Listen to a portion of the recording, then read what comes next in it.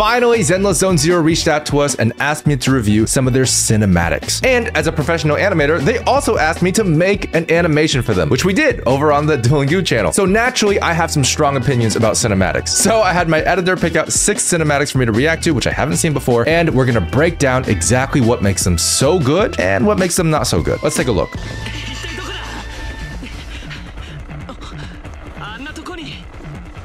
Oh, that's so cool already. What the?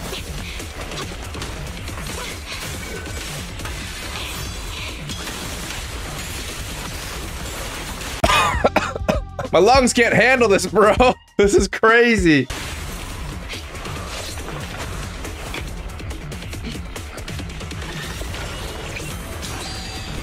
She's a soul sword? Oh my god. It's like that shot we did with Raiden in Progenitor 3. oh, impact frames. Impact frames, let's go. With heels.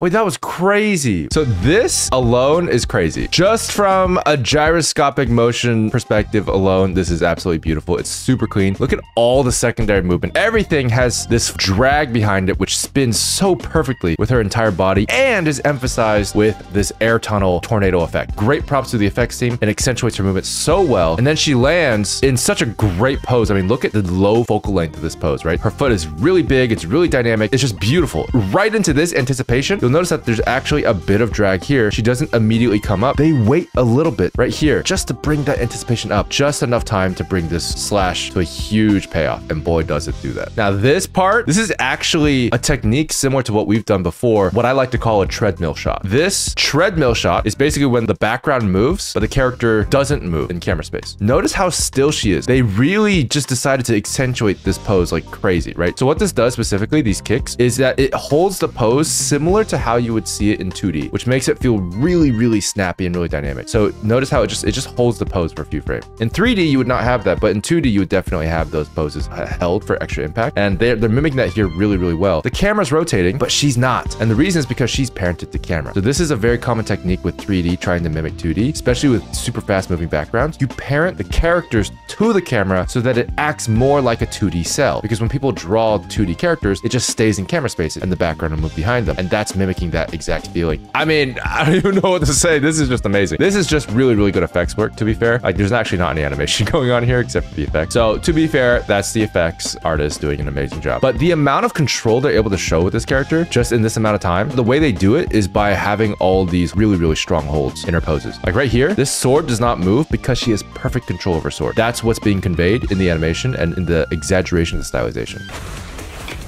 even more so with that. So she lands in such a great way. She's not landing with absolutely no recoil at all, but she basically lands as if she is already completely balanced and has no intention of rebalancing herself. Normally when people land, they have like a slight adjustment of their feet. Not this girl. She's also a cat, so that makes sense. But it's really well portrayed, like super well portrayed. Oh, so good. Look at these frames. Yes, these are hand-drawn frames. Every single one of these. Really elevates the piece, absolutely. Oh, that's good. I actually do have a small gripe with this particular landing animation, even though it's fantastic. The good things is that like it's super dynamic, super low focal length, feels really good, really impactful because it's so sudden. My only complaint is that the shoe just completely hides the silhouette of her character. I kind of wish there was like a little bit of her other foot visible. You know, I, almost kind of wish it was like here instead, and then you could see her foot over here. So this would not cover up her entire head and her entire body. That would be an ideal scenario, but it's a small nitpick ultimately. That's true. A panty shot would be bad. That does make sense. That's probably why they did it. What's next? Anbi's falling from a... Whoa. Oh, she fell into a rift.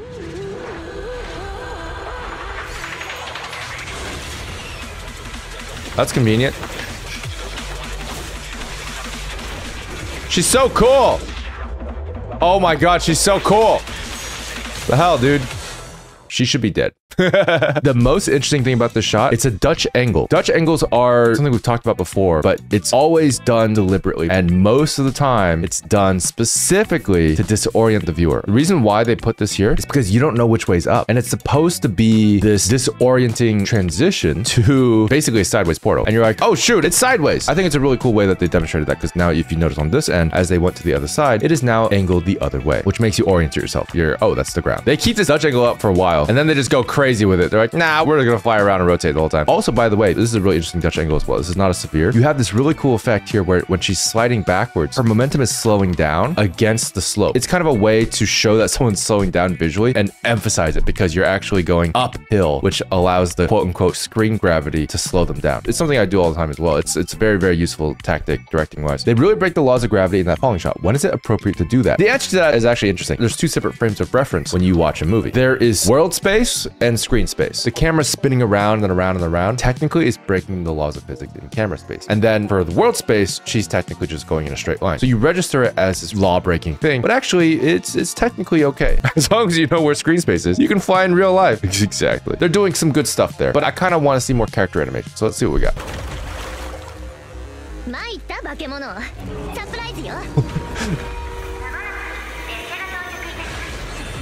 Yo!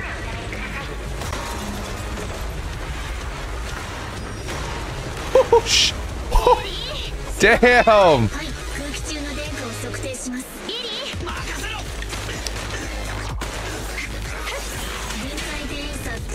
What, the anime opening? Oh, they're so bouncy. I love it, dude. Oh my god. Lightning rod?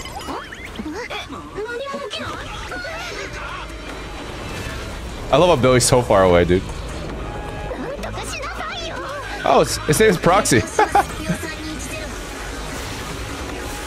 Oh, it's a sword. Impact frames, let's go, dude. Guys, real quick, if this is not so incredibly trigger coded, I don't know what is, dude. This is literally the Gainax post. I honestly feel like trigger is probably one of the biggest inspirations for the ZZ style. Dude, look at this. He just literally just flies in space. He's parented the camera again. Look at that. See how his foot is sliding on the ground? They're ignoring the background entirely, which is so funny because like in 3D, there's such a stigma against foot sliding. And then in 2D, there just isn't because nobody cares. The two worlds are colliding. There's a 3D animation with foot sliding and no one cares. It's not bound to world space rules. It's screen space rules, baby. This is so good. Just look at this pose, bro. The silhouette here is gorgeous. Damn, look at the screen wipe. Boom. Transition. Look at this smear. This smear is so good. Dude, just look at this, man. That's wild. Okay, Anbi, what do you got? Yeah, she's got this super anticipation throw thing at camera move, which by the way, also parented the camera. And look, there's only a couple frames here too, which is cool. But there's actually multiple frames on the inside of this shape, but the actual shiny part of the shape is lower frame count. That's a really cool idea. I might steal that idea. the squash and stretch here is huge. Look at her torso. That's not how long her torso is supposed to be. And then very, very squashed here. And then everyone else does the same thing. Look at this. Boingo boingo, just straight up. Then Anbi does it as well, but in a more subtle way. That's what's so great about this concept. Squash and stretch is actually not always stretching beyond normal limits. It's also just, hey, I'm elongated here and now I'm squashed here. And so that bounce right there is so well done and so well transitioned with that rotation. And it continues to bounce a little bit more. Boom, boom, two more times that whole time. And even Billy is bouncy. I mean, it's just incredible. This is a small thing, but look at the attention to detail here. His eyeballs shake inside of his head. You see that? So his eyes come up and then they they shake inside of his head. They're not stationary. That's so jello-y, dude. look how far Billy is. It's so funny. Yeah, impact frames. Woo! Look at that, bro. God, that was so good. Then we should do another ZZZ animation. It's just so fun to animate. Hey, if they want to do another one, I'm happy to do another one. 点滅がより頻繁に急ぎましょう Like Hound. ガイド様お守りしますわ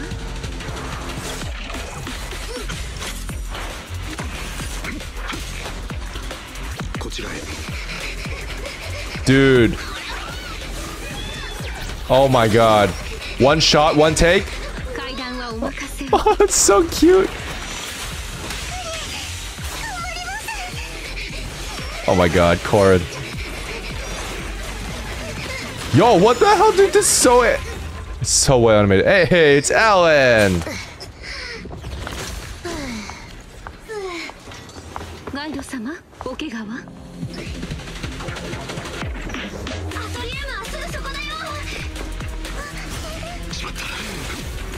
Oh, that pose though. Woo! God, what the hell? Damn. 一歩遅かったようですシャッターは閉じてしまいました When was the last time you guys saw a game cinematic that has a pose like this with this camera angle? They are so unafraid of low focal length camera angles. This is literally a JoJo pose. It's the most dynamic pose you can think of. And then they go straight to his face. Facial appreciation. I've talked about this before. Just not being shy about showing your character's faces is great for a video game. This kicking animation, like, bro, same thing that we saw with Miyabi earlier. Holding these poses. Look at these smears too. Look at that. That's gorgeous. This is a cool trick. They're jutting out his hips specifically to make his legs look longer. That's crazy. That's so fascinating. This looks broken in 3D, but in a 2D thing, it would look great. So it's like exaggerating these kinds of shapes and stuff that don't make a whole lot of sense physically. They pulled off so well, dude. That's a wild shot right there. so the, one thing I will say is you don't see him land, which is a little weird. It does feel a little bit like he doesn't touch the ground here. And this is because he's parented to the camera. If I were to improve this shot, I think realistically he would go down a little bit lower because you don't just you just don't see the floor clearly enough to say for sure that he touched the ground. Like this feels like he's still floating. Dude, this is such a great reveal just from a directing standpoint. What what a cool effect. He's running, he's running, he's running, and then she picks him up from behind where you can't see Alexandrina come up from behind and it's such a nice reveal. Yo, dude, whatever this dog is doing over here is wild. Just look at the anticipation for this hand. Oh, it's hooked, bro. Look at that. He's wrapping around. He's locked in. That's wild. This pose is so short, but so good. Look how clean this silhouette is. This is the reason why it's so good. Every single limb is perfectly highlighted with the silhouette. You can see everything. Just, are they respecting the 180 degree rule? Oh, yes, absolutely. One important fact about the 180 degree rule is that it's only relevant with cuts. So if it's a one shot take, it doesn't actually matter and you can do whatever you want. It's so good. Let's take a look at this next one.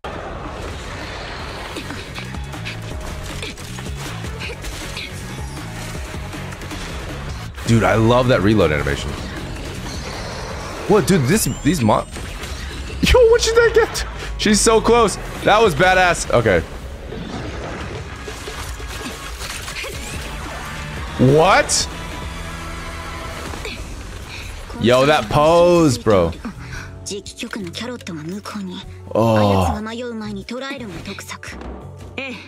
次 Oh, they're so bouncy, dude. Is that weird to say when there's only women in this? I'm talking about the animation, guys. They have extra squash and stretch in this animation. See her torso stretching? Just a little bit, just for a couple frames, and then it squashes back again. That makes all the difference, dude. This is a great pose, too. I just appreciate the standing poses. Just imagine the exact same pose, but her thing is just like here. If it was like here, that doesn't do it. But right there, chef's kiss. This is so good. Look at this right here. So this is what's really, really cool about ZZZ is they are not afraid to break their bones, right? So this is like a very high anticipation, very high drag move movement, which feels fantastic. That sounds so bad. They're not afraid to break bones. Break the bones of the animators. And that's why it's so good. It's the threat of physical harm. And of course, we have to talk about this pose, bro. Literally, the poses in this game are gonna kill me. They're literally so good. Look how clear this silhouette is. No part of her body is unclear at all. Absolutely gorgeous. What's next? Oh,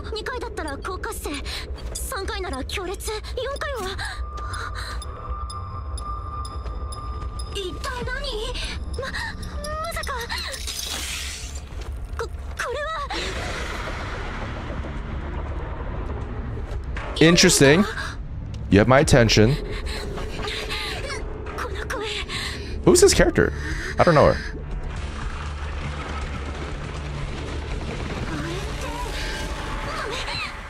That's terrifying, dude.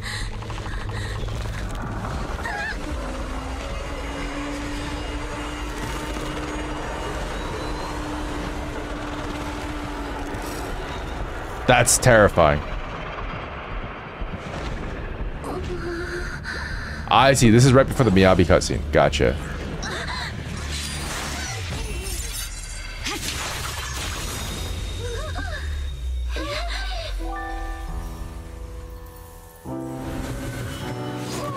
Oh, oh it's so good.